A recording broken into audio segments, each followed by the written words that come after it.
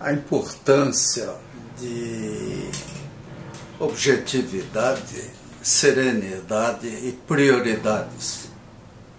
O Brasil está num momento delicado, virou saco de pancadas, eh, principalmente dos europeus, que levam um tranco dos Estados Unidos e transferem o prejuízo para nós. É, isso e muito mais. Né? A China simplesmente resolveu cobrar uma sobretaxa do frango brasileiro. Lá não temos bomba atômica, né? somos um país desarmado, e o resultado é que o brasileiro paga uma conta muito alta pela sua impotência. Mas é hora da mídia colaborar. Né? Estamos no início de diversos governos estaduais e presidência da República, assim como senadores e deputados federais. Nós temos que focar naquilo que realmente é importante. Presidente vai a Davos falar, apesar de estar uma ferida na barriga, está é, é, se arriscando muito ainda lá, mas vai.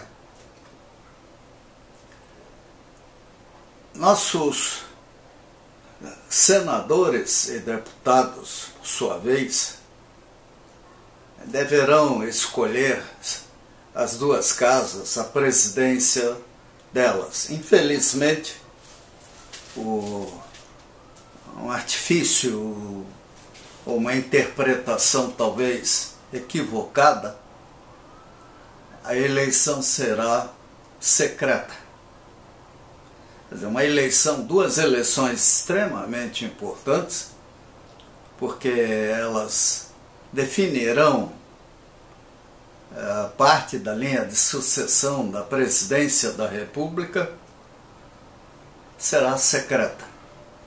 Agora, grandes sistemas de comunicação têm informantes, tem é, o Datafolha, ah, e outras coisas parecidas, para até avaliar hipóteses prováveis e consequências que teremos com as eleições no Senado e na Câmara de Deputados.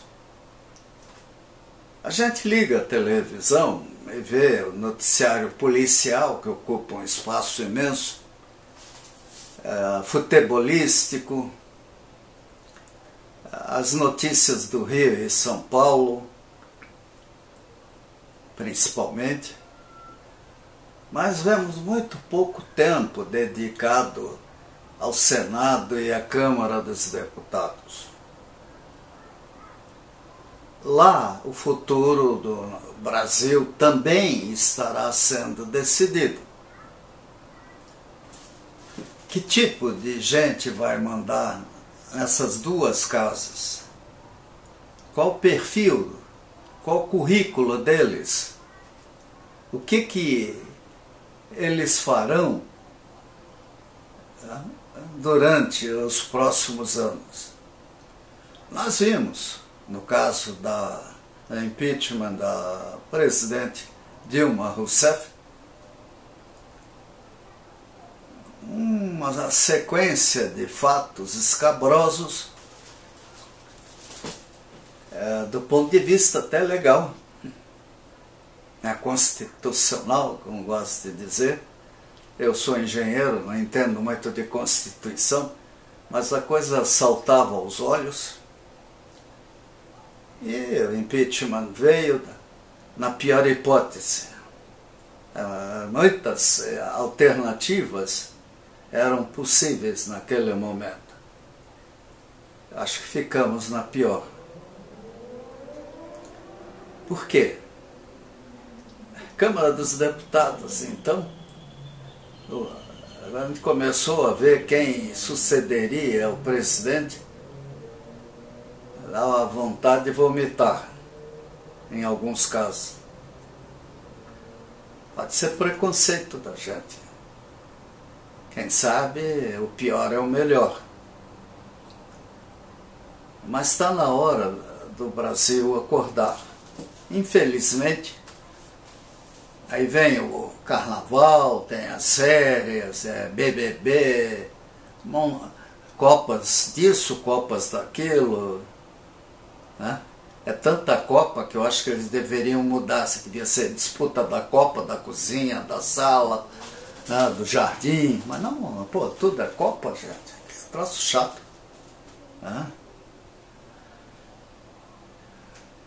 Nós olhamos as ruas das nossas cidades, as favelas, a falta de escolas, de creches.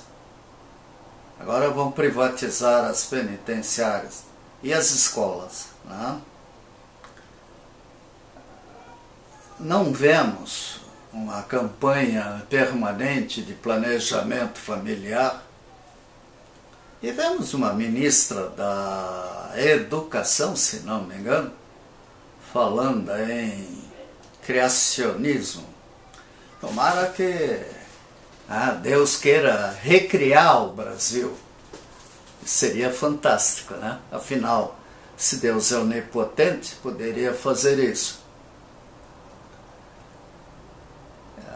Nós precisamos de um Brasil sério, responsável e competente. Votei no presidente Bolsonaro por duas razões com muito, muita, muita e muitas preocupações. Foi o ministro Sérgio Moro ir para o seu governo, ficou naquela época veio a notícia, e o general, que agora é chefe da casa da área de inteligência aí, que eu venho acompanhando, vim acompanhando o trabalho dele e achei que ele merecia, era uma pessoa competente. Mas uma coisa é discurso, a outra é governo. Então é óbvio que a gente tem dúvidas em relação ao futuro. Tomara que os atuais governantes tenham mais medo, muito mais medo, de novas gerações de juízes estaduais, federais, de outros Sérgios Moros ah, e de políticos novos, com vontade real, novos no sentido de assumirem agora pela primeira vez, de tanto numa comissão de ética quanto na presidência da Câmara, mostrem o que o Brasil precisa deles, que o nosso povo tem mais gente lá fora do que aqui dentro, como disse até o Gabeira num artigo, Jesus subiu na goiabeira, uma coisa assim. Nosso povo está cansado. Né? Já estão comprando armas, né? daqui a pouco nós vamos ter trincheira nas ruas. Tomara que isso não aconteça.